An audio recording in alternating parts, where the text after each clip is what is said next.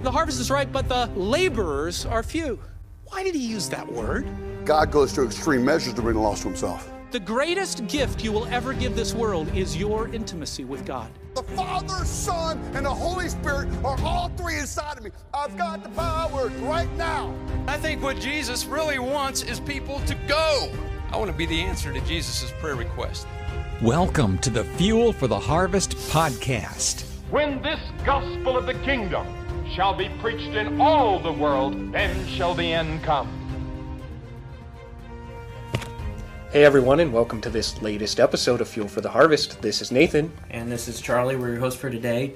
And our good friend and ministry partner is joining us. His name is Santiago Fuentes. Uh, he actually lives in Mexico City. You've heard multiple episodes with him in the past. Uh, a recent one was on Christianity in Mexico and what you maybe had never heard before. Uh, it was fascinating to discuss that. So, Santi, thanks for joining again. Yes, thank you for having me here. Always a pleasure. Well, I'm really, really excited um, about today and what God has put on your heart. Uh, so let's dig into it. Yes. Please, uh, Charlie, can you please read Psalm 17, verse 8? Yeah, so Psalm 17, 8, uh, David writes, Keep me as the apple of your eye, hide me in the shadow of your wings. Mm. Have you ever thought about what that means? Yes. It's kind of a common turn of phrase in the United States. Is it? The apple of your eye. Mm-hmm. But biblically speaking, or even we we understand the the connotative meaning. Like we understand kind of at a guttural level, the apple of your eye is someone you really like or love. Okay. But I don't know if we really fully understand what it means. Well, that's a phrase then that applies to America in that sense, but what was really eye opening for me is when I found out what I what it means. No pun intended. Song. Sorry. no pun intended that your eyes were opened to it. Uh, oh well. No, I'm not that smart. I was I was also wondering like, are we talking about like red Fuji apples or apple crisps, honeycomb? But maybe that's not what he's talking about. It's not what he's talking about. Because I most of the time I'll tell you, yes, I've thought about it, but most of the time in the past I've wondered is it like an apple? Like like I'm looking on a tree and that's the apple of my eye. and uh, I wonder if when all. I think when we read this, maybe most of the time, if we don't pause, we may think like, oh, you're looking at an apple or something. Mm-hmm, mm-hmm, mm-hmm. Or maybe that's a part of your eye, right? I'm not a doctor, so maybe there's oh, something oh, yeah. in my eye that it's called the apple. Oh yeah, eye, like you know? that. Your voice box is sometimes called the Adam's apple. That's right. Yeah. So, so is the is the apple Eve's apple? My goodness. My, my, my, how we have gone off on a bunny trail. We have, we have. So let me tell you why I, I came to this, this scripture. I've read it many times before, of course, but um, it was during COVID that I was really struggling. Like mm. maybe some people can, can identify with that. Just uh, thinking about the future. What's, uh, what's ahead? Mm. What's going to happen with my wife, with my daughter, with my own life? Uh, what if the Lord calls me today? What kind of uh, kind of record is going to be there? Uh, will I be rewarded greatly or just barely made it to hmm. heaven? Mm. You know, and I was wondering and pondering about what kind of life I lived, mm. what kind of uh, ministry I've done uh, for Jesus not just a formal ministry, but everyday, ordinary ministry, as yeah. we uh, teach all the time. And so I was scared hmm. of maybe the legacy I'm I'm leaving behind is not the best. Maybe I've I haven't done my best job as a husband, as a dad, as a speaker, as as a minister, as as a friend, as neighbor, you name it. Yeah. It was overwhelming for me. And so went to the scriptures, started uh, reading through these passages, and you have my my Spanish Bible here in front of you, mm. and you can see the the copios. Yeah, copious notes. Copi- there you go. Notes. the obscene amount of notes, you could say. Come on. In a in a good way. Well, I hope so. Uh, and so started working on this passage and realized that David, although we don't know exactly uh, the time when he wrote this song, Hmm. it was a time when he was, uh, his life was in danger. Mhm. And and I mean, it's David. His life was in danger pretty much since he was a teenage boy, right? So when did he write this song? We don't know. Keep that in mind. This is a song, and and because it's a song, it uses some words like contemporary songs, like uh, metaphors, right? And so he's using a metaphor here.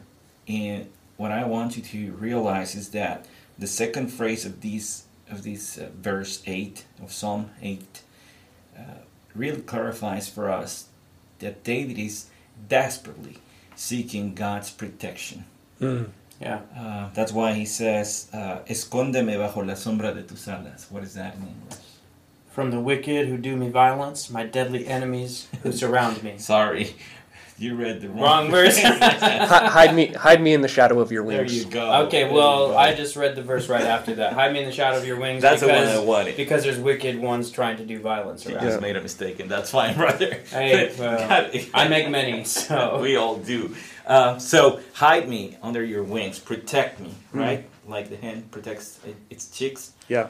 Um, Which is a real thing for those of you who've never seen a chicken. oh yeah, Hens will re- legitimately put their chicks under their wings. and yes. it, some of them almost disappear into Yeah. the feathers. Like you would look at this chicken and not see any chicks, and then they move, and there's like five little chicks running around. Yeah. That's, and that's beautiful.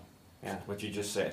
You disappear, and and here's where you are Hmm. in those moments. The first phrase of that is this that we're talking about. Keep me, what, like the apple of your eye. Yeah. right? So, what that means is keep your eye on me, Lord. Hmm. Let me share this story. I took my daughter to this playground, and and there were so many things to do around there. Some things she already knew, like slides and swings, but these other uh, things you have to climb on, and you know those those newer uh, playgrounds, how they have all these fascinating things. Now, remember, I'm 44 years old Yeah. we survived the rough playgrounds, right? When you could have uh, break an arm and, and things like that. And uh, but but now they're they're mo- much much That's nicer. true. What I remember growing up, and some of the playgrounds would be like a straight metal slide. so when it's a hot sunny day, you could cook an egg on it, That's right. and could cook some other things too if you go down the slide. And uh, I remember that it was made out of wood, dark brown wood. And if you rub up against it, your hand would be full of splinters. Now it's like smooth plastic, but uh, I yeah we had we lived in some dangerous times. Didn't we, we, we did in my day and time as a kid. Some of those slides were made out of concrete. Wow. Now that's So, another level. right Run there. around those things and trip and fall Oh. with your face on those things. You, you're going to have a hole in your face. That's right. So, took my daughter to the playground, and, and she was uh, uh, just experiencing new things, climbing things. But she turned and said, "Daddy, are you looking at me?" Hmm. She was Wondering. afraid. Yeah. She was scared. Yes, I'm, I'm, I'm looking at you, honey. I'm here. Hmm. And she moved around and, and, and went uh, to the other side of this of this uh, playground, and she behind this this slide, I see her face Hmm. Just looking at me if I was really keeping an eye on her. What David is saying is, please keep an eye on me. Hmm. But here's the thing, and, and this is fascinating to me. He's not just look from afar. No, I want you here. So close, Mm. so close that the silhouette of my body, I can see it in your eye, God. Because you can see things from the distance, but you won't see the silhouette of things in your eye if they're too far away, Yeah. right? But when you keep an eye on something so close to you that you can see the silhouette, or somebody else can see the silhouette of that thing or that person in your eye, that means you're really, really close. Right. Like I, you have to be like two, three, four inches away That's in right. order to see your face, facial reflection Mhm. in the eye of the person that you're looking at. Exactly. Yeah. So, what David is saying, now that I'm in danger, now that my life is at it's at risk, please stand by me so close that, that I can see my silhouette in your eye. That's, yeah, and I love the picture of a kid, a young child. Uh, they, they want to wander a little bit to feel like they're free, but they don't want you to leave them. They'll always be. I I heard someone say they had read uh, about parenting and studied it and the psychology behind children and all this and that, and those children who are most secure and feel most loved are those like that have the freedom to walk forward but they know their parent is watching so there's a boundary but they're free those who like just let their kids free completely and are not watching them don't have the boundary aren't like hey i'm here with you Yeah. those are the most insecure kids Yes. they're like out there is my father watching am i okay i don't even see him anymore And can I sh- can I share something about what you're saying? I see my daughter uh, in that stage where she's exploring the world, discovering Yes. new things, but she wants to know you're there, yes even at home. yes Like if I'm in the kitchen with my wife, uh, helping, you know, fix dinner or something, and she's playing in the living room, from time to time she'll open uh, the door and come and see inside the kitchen just to make sure we're still, still there. there I, I remember being a kid and like playing or whatever, and I'm all infatuated with whatever I'm doing in front of me. And then all of a sudden I'd be like, wow, it's quiet. Where'd mom and dad go? I'd go running all through the house. Mom, dad, where are you? Where are you? I was a little anxious. So, like, I'd start to cry sometimes, you know, just like a little, little kid. I just remember that feeling of like, oh, I found them. Yeah. And that peace that Yeah. just washes over And- you. I think another step further with this as well is the concept of sight and seeing. Uh, like with my daughter, as I'm thinking about, as with yours, Santi, as well, or how we felt. Um, she'll grab, like, my hand and want to bring me into the same room to be watching and to be close. But if I'm reading or on my phone or something, it doesn't count. Mm-hmm. She wants to see that I'm literally watching what she's doing. Like, look, see what, look, do you see this doll that I'm playing Yeah. with? Do you see this book that I'm picking up? Like, if I'm not seeing it, it's not enough. Ha- has she ever uh, grabbed your phone and put it down for you? Yes. Me too. Me too. I, I totally relate with you. Yeah. And and those are the moments when you're like, oh goodness, I'm doing this wrong, right? Yeah. yeah. I need to And pay attention to you. We praise God that He is our Father who Is uh, not distracted by a phone. we don't have to come to him and say, "Can you put your phone down for me for a moment?" Oh, We he's it makes me think of this Bible story. Um, two stories have come to mind as you're sharing. One is with this uh, when Elijah is going up against the prophets of Baal, Mhm. and he's mocking them. oh, is your God going to help you? I think he must be using the toilet somewhere. He's Yeah. too busy for you. And they have to slash themselves and do all these crazy things to try and get the attention of their God. And Elijah is secure Oh. because he knows his God is watching. And in a moment, the fire comes down and consumes the altar and all the water. He dumped buckets of water, filled the trenches. In a moment, God saw him and was watching. Your your father knows everything you need even Yeah. before you say it. Oh, th- uh, Jesus said that. He's watching. Uh, so here's here's uh, two cross references to this. Um, Deuteronomy 32 verse 10. He found him in a desert land, and in the howling waste of the wilderness. He encir- he encircled him. He cared for him. He kept him as the apple of his eye. Hmm. He's God. Is is talking about God keeping Israel safe through the desert. Now, why were there were they wandering in the desert? Because they disobeyed. Because they disobeyed. Did he remove his care for them? Oh, no. Not at all, is what he's saying here. Right. And many times we believe, oh, I messed up. God must be so angry at me that mm. he's not even paying attention to me anymore. That's ridiculous. Yeah. Mm. You're his child. Uh, I imagine that you guys, as parents, would say emphatically, "There's nothing your daughter could ever do Oh, no. to make you turn your back on her." No. I mean, Like you you could get hurt or you could get disappointed or whatever, but you'll never abandon as good dads, you won't ever abandon your kid no matter what. According to the scriptures, we we may be the best.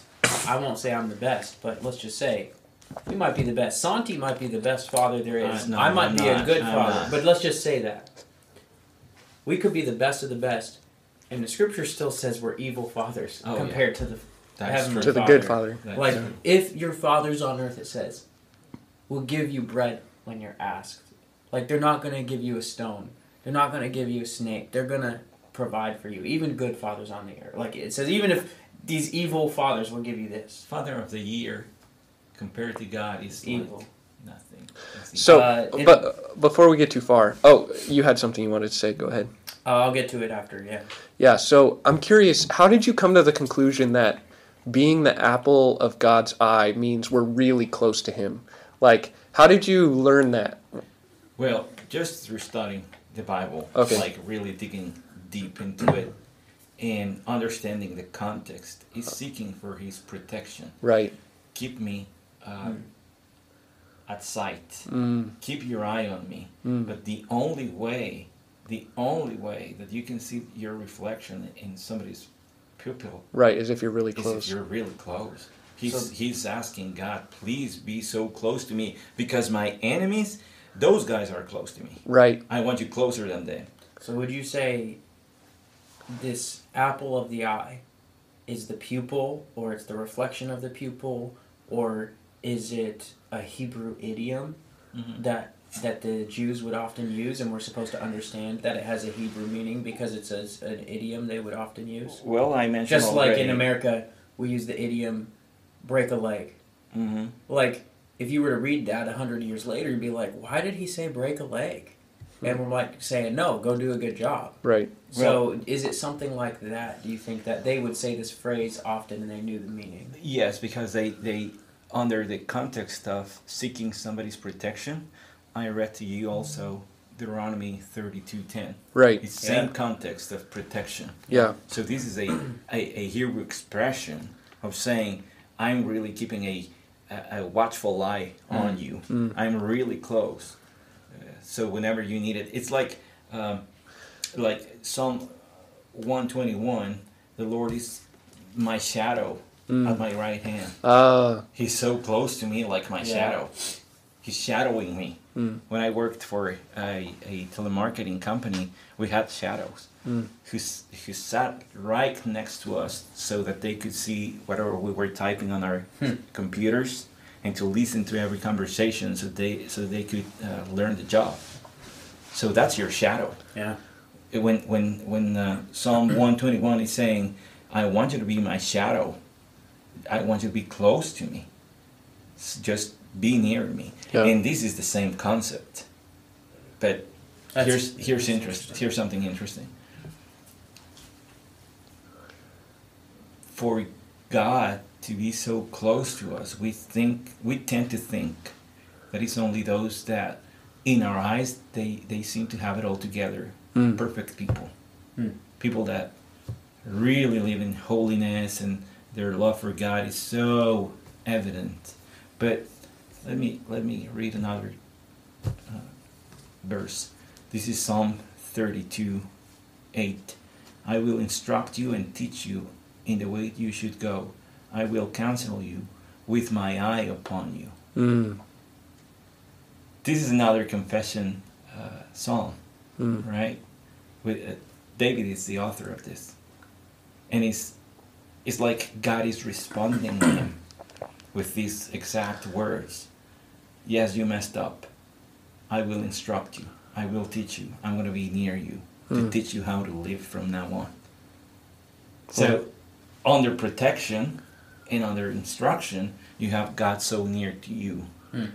So, I mean, there are many other ways uh, we could uh, exemplify this, but I'm I'm really um,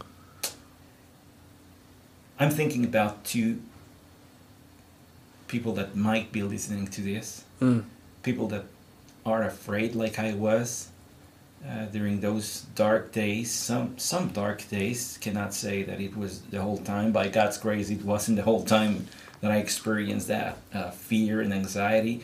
But during those dark days, I was seeking for uh, protection and comfort, founded on this verse.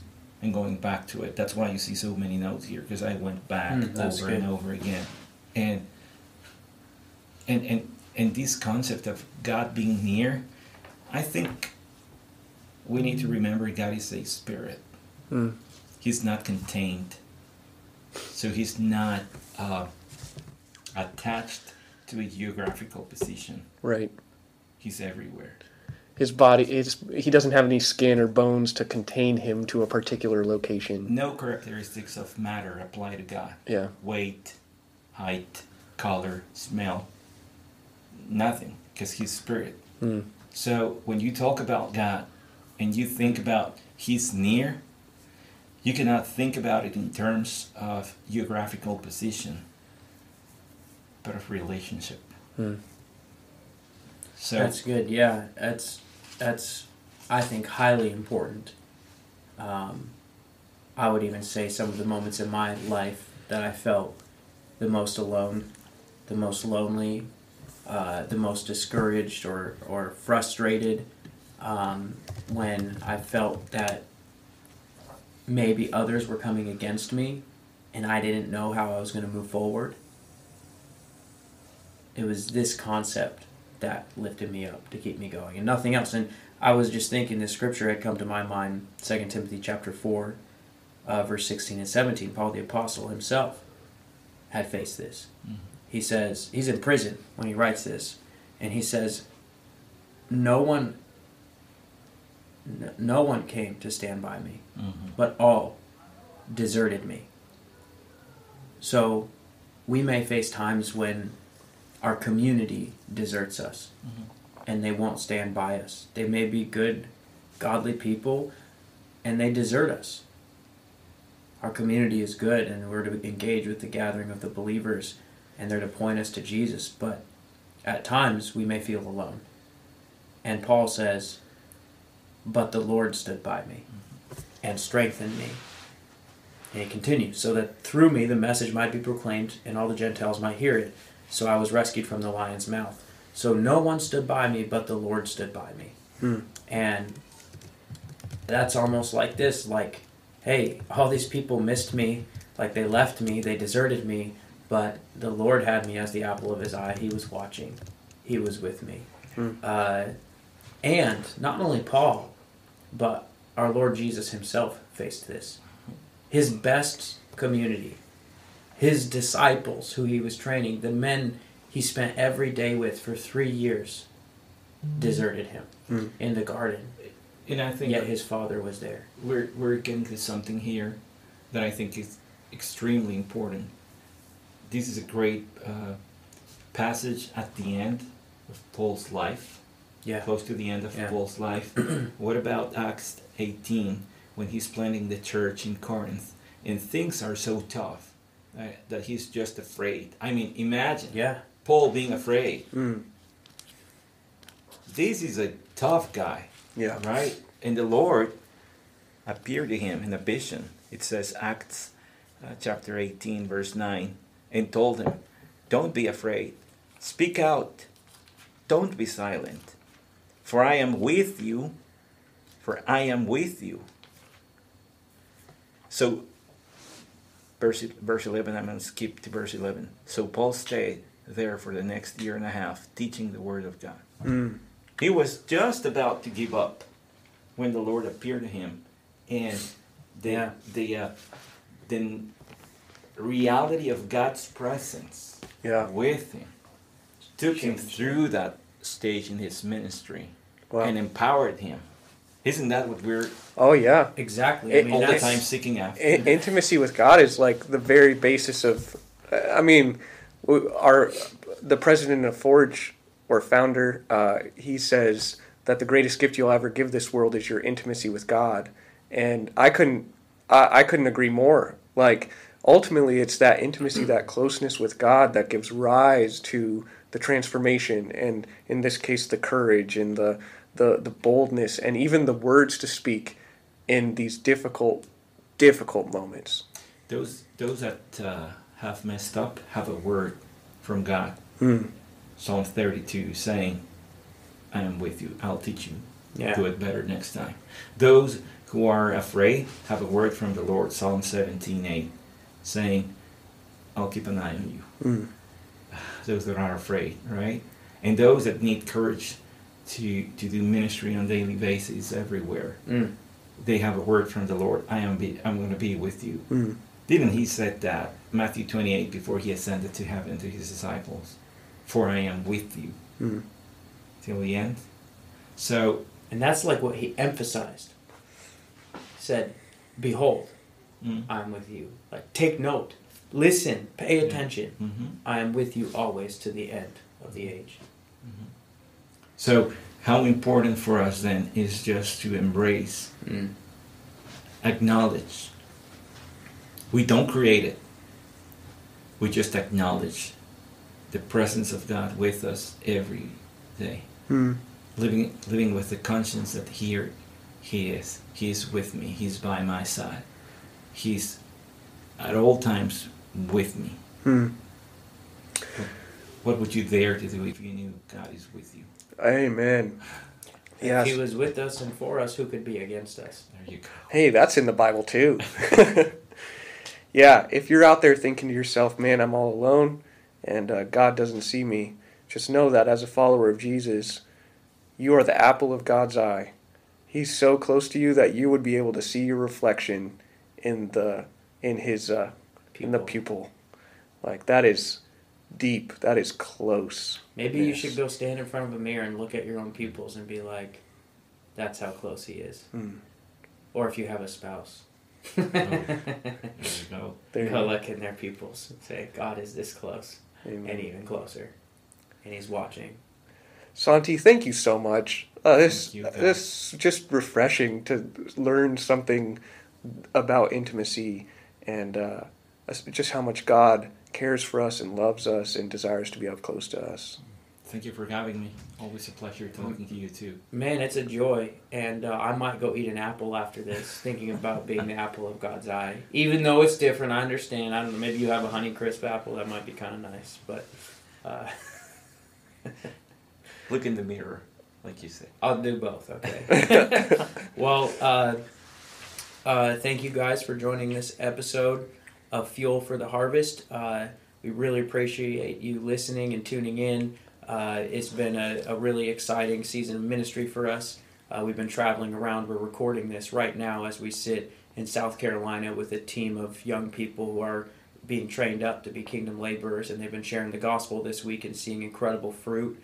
Uh, God has been impacting their lives, setting them free of darkness, and calling them uh, to everyday laborership wherever their feet go, and some of them even to the unreached, to the ends of the earth.